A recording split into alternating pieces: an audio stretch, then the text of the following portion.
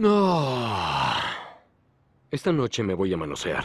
Oh, Transformers, la marca que está en boca de todos en estos momentos. Y aunque me gustaría seguir hablando de algo tan excelente como es Transformers One, Hoy me encuentro aquí para hablar sobre las colaboraciones, pues con 40 años de existencia es obvio que esta franquicia iba a colaborar con diferentes marcas a lo largo de toda su vida. Y esto no es tan reciente, pues ya ha tenido colaboraciones con marcas como fue el Optimus Pexy. Claro que en los últimos años ha empezado con colaboraciones un poco más enfocadas a la cultura popular, como lo es con clásicos literarios y series del momento. Así también Hasbro aprovechando que tiene las licencias de más ha colaborado con cómics como es el caso de Marvel con X-Men, con videojuegos como esta colaboración con Street Fighter 2 y obviamente colaboraciones son tanto extrañas como Balvitron, que en serio no sé qué pensaba el ejecutivo que aprobó esta figura. Prácticamente Hasbro estaba con Transformers como mírenlo, haciendo colaboraciones con todo como un animal. Por lo cual con todos estos tratos en algún momento Hasbro dijo ya tenemos contactos y si dividimos la licencia y cobramos regalías de la misma, poniéndose en contacto con otras marcas para que realicen figuras de Transformers, pero con la condición de que no se transformen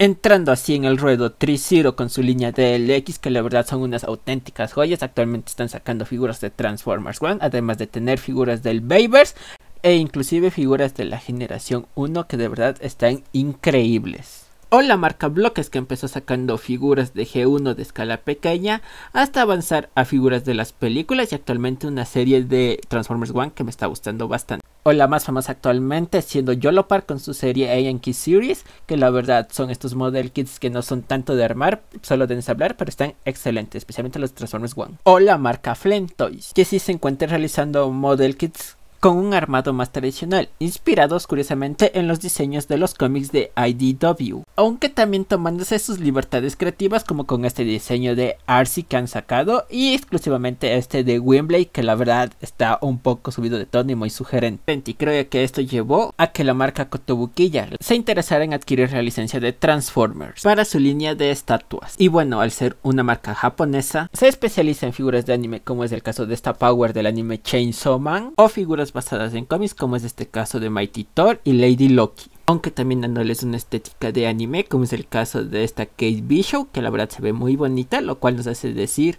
oye qué rico. Pero eso no es todo lo que hace esta marca, pues también tiene figuras más realistas, como es el caso de este Dharma que se ve increíble, en serio está imponente, o este Darth Vader que de verdad se ve hermoso y precioso, o tenemos esta figura de Capitán América que igual se ve asombrosa, dándonos a entender que también realizan figuras un poco más realistas. Así que debe estar muy buena esa propuesta que le propuso Katubukiya a Hasbro, que los hizo poner la cara de Joy Caras Locas Wheeler, dándole así el permiso con lo cual Kotobukiya empezó a hornear.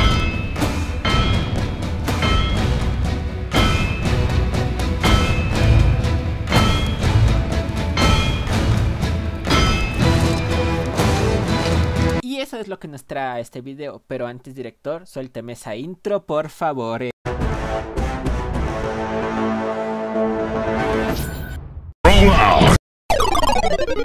Las Bishojo Transformers por parte de Kotobukiya. La verdad, son unas figuras un tanto extrañas porque uno pensaría si va a sacar personajes femeninos en forma de estatuas, te obviamente por la opción más viable que son las fembots. Tienes una infinidad de ellas, la gente las adora e inclusive te sirve como puente para darle popularidad a ciertos personajes que el público no conoce ya que no han sido muy utilizados tanto en series como películas. Y que con el estilo que manejas fácilmente los hubieras realizado y los hubieras catapultado a un éxito de ventas. Pero no, se fueron a otra opción que fue usar los personajes masculinos en una versión que prácticamente son chicas haciendo cosplay de los mismos. Que bueno, tomándola como decisión ejecutiva tiene mucho sentido ya que ganas la fama de los personajes más el morbo que te va a generar a estas versiones. Así que en este momento vamos a analizar todas las que han salido hasta la fecha. Durante el día soy Marinette, una normal con una vida normal. La versión Bishoujo de Optimus Prime la verdad se me hace muy bonita, en serio. Tiene un diseño que de verdad me agrada, tiene esta apariencia como que fuera una mecánica que creo que queda con lo que quiere interpretar la línea sobre el personaje. Además que su traje tiene elementos que recalcan como tener la matriz de liderazgo, lo que parece unos gogles parecidos al rostro de Optimus Prime unos shorts con un cinturón que son muy reminiscentes al diseño de Optimus Prime, además de poseer unas botas muy fuertes inspiradas en el mismo con esas rueditas ahí, además de que su caja de herramientas se asemeja al remolque que usa el mismo Optimus Prime e incluye de accesorio una base con el logo Autobot que de verdad se ve muy hermoso, además de un cambio de rostro con un mold plate, la cual es una opción válida pero creo que no es tan bueno para el diseño de esta misma. A mi juicio tomaron los elementos más representativos de Optimus Prime y lo aplicaron a este diseño de manera correcta. Además que vemos la inspiración de donde vino este diseño en serio. Y como no puede ser de otra, le hacemos un recoloreado en colores oscuros y tenemos la versión de Nemesis Prime que trae una mueca diferente que se ve muy buena en serio. Además como accesorio incluye una espada que también se ve increíble en lugar de nuestro remolque. Y por supuesto un cambio de base en el cual tendría el logo de los Decepticons. A mi juicio este lanzamiento junto a Optimus se ve muy bien y creo que son una buena opción si piensas conseguirlo sea cualquiera de los dos. Quiero que me pegue me embarace y me abandone. En el caso de Megatron tenemos a una chica que es una oficial de rango militar, además de traer un corte de honguito para reflejar la cabeza de cubeta de nuestro líder Decepticon. A mi juicio el diseño está muy bien ejecutado, tiene elementos que fácilmente evocan al diseño de un Megatron y como se vería en esta versión Bishoujo está bien realizado. Como podemos notar, el vestido que trae evoca al diseño del pecho de Megatron, especialmente en su cinturón. Trae una bazooka cañón de fusión que además evoca a la pistola en la que se transforme. Y obviamente una base con el logo de Secticon, que está muy bien realizada. También podemos notar en la comparación con Megatron que los elementos más importantes han sido traspasados a esta versión Bishoho.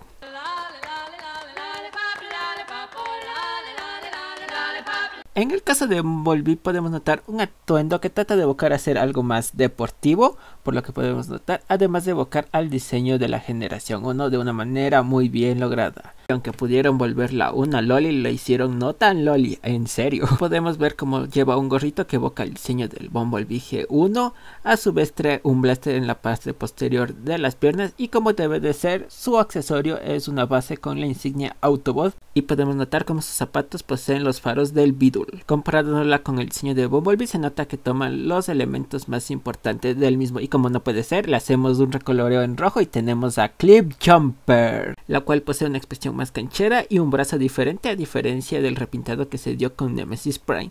Y si la ponemos junto a B se ven muy bien juntas ese par. Soy perra ni soy gata, soy divasa y eso te mata. En el caso de Starscream tenemos a una chica latina con un atuendo evocando una época colegial a mi parecer, en el cual se integran elementos del jet a este uniforme de una forma muy bien ejecutada, como podemos notar en la mochila con las alas del jet. Y curiosamente es la Bishoju más reveladora que se ha lanzado hasta este momento de la línea. Como podemos notar, el uniforme usando la corbata evoca al diseño de la cabina que tiene el modo robot del mismo, además de poseer esa sonrisita burlona que siento si estaría burlando de la versión Bishoju de Megatron. Y como les decía, la mochila evoca las alas y está muy bien ejecutada, teniendo sus rayos nurificadores. Además, la base con el logo de Secticon se le ve muy bien, en especial en el diseño en el que está distribuido. Y comparado al modelo de Starscream, podemos ver que sí cogieron los elementos más importantes del mismo y lo integraron a este diseño de una manera correcta. Y aplicando la Hasbro, como ya tienes a una, sacas los demás diseños de los Seekers. Empezando con Thundercracker, la cual tiene una diferencia muy notable respecto a Starscream, ya que posee un traje interno, lo cual lo vuelve una figura no tan reveladora, además de un cambio de rostro que a mi juicio está muy bien la expresión que le han dado un poco más relajada. Lo mismo en el caso de Skyward, la cual posee el mismo diseño que Thundercracker, con un traje interno de colores morados y una nueva expresión la cual siente está igual de burlona que la de Starscream a mi juicio, siendo el último lanzamiento que ha tenido la línea Bishojo Transformers. Teniendo así un total de 4 lanzamientos y 4 repintados, dándonos un total oficial de 8 lanzamientos por parte de la línea entre los años 2023 y 2024. Que como opinión personal no siento que sea una mala línea, pues las figuras tienen su cierto encanto, además de que se nota que están diseñadas de una manera que homenajea correctamente al personaje que están interpretando. Bueno, también tomando el precio que manejan, se nota que no es una línea creada para todos. Pero que si tuviera la oportunidad, personalmente yo sí coleccionaría al menos las versiones de los líderes. Pero bueno, hasta aquí el vídeo de hoy. Espero que les haya gustado y los haya entretenido. Si es así, no olviden dejar su like, compartir y comentar para que YouTube así promocione un poco más el canal y llegar a más miembros de la comunidad Transformers. A su vez yo voy a leer y responder todos los comentarios que me dejen. Y sin más que decir, espero que la siguiente semana sea suya, que la pasen muy bien, que la pasen chévere. Los quiero mucho, Cyber Bandita. Y les dejo una pregunta que si Kotobukiya saca a las fembots, ¿las daría como versiones masculinas de las mismas?